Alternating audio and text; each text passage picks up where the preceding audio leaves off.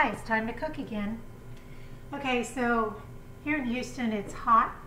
It's a little bit humid, hasn't gotten too bad yet, but it's hot. So I started wanting cold foods to drink. Like I made the fresh corn salad the other day. Um, I'm going to make gazpacho later this week, but right now I'm going to make tabbouleh.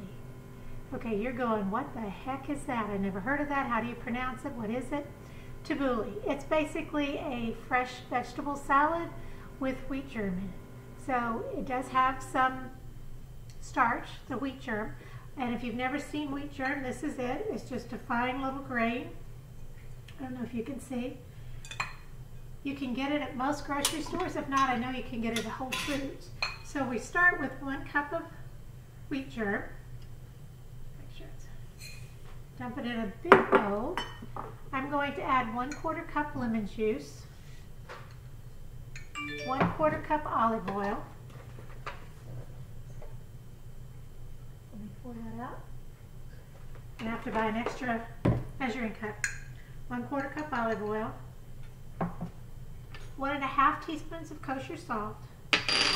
And then one and a half cups of boiling water. Okay. But we're just going to mix this all up, make sure it's well combined. And this is going to set off to the side for an hour and the wheat germ is going to absorb all these wonderful flavors. And when we come back, we'll add all of the lovely vegetables that go with it. This is going to expand, basically double in size, size kind of like rice. Um, but trust me, this is really, really good, even if it sounds funny. Um, you're going to see. All right, I'm going to set this aside now for an hour so it absorbs all of the liquids, and then we'll be back and add the rest of the ingredients. It's really good, so don't go away. Okay, I'm back. It's been an hour. And the wheat germ oil, lemon juice, and salt is all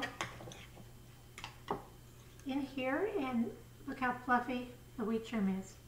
There's a little bit of, of the juice left, but that's good because it will dress the rest of the ingredients. Okay, first of all, it calls for one hothouse cucumber. Sometimes they're called English cucumbers, but they're the long, skinny cucumbers that come in the plastic wrap. They're wonderful. Anyway, they like this. You do not peel them. I've cut up the rest of it. I just wanted to show you that to do this, you cut it in half and you actually scrape out the seeds in the middle. It keeps the um, salad from being too watery. I just take a spoon and go down like this on each side, real easy, real fast. It gets the seeds out of the middle. Okay. Once you've done that, you just dice it into medium dice. That's about bite size. You don't want them too big or too small. So it takes one whole cucumber for that. This is easy. You don't even have to peel. I love it. Okay. So one whole hothouse cucumber goes in here. Two cups of chopped cherry tomatoes, and usually just chop them in half. That's perfect. So that goes in next. Come of spices. I've got two teaspoons of salt and one teaspoon of pepper.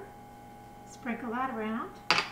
I've got one cup of chopped fresh parsley. That goes in. One cup of chopped green onions or scallions. And you can use the white and the green part. I use both. And then it calls for one cup of mint. I only put in half a cup of mint because I think it kind of overpowers it. But if mint's your favorite thing, put in the whole cup. And then we just stir. Get all this stir.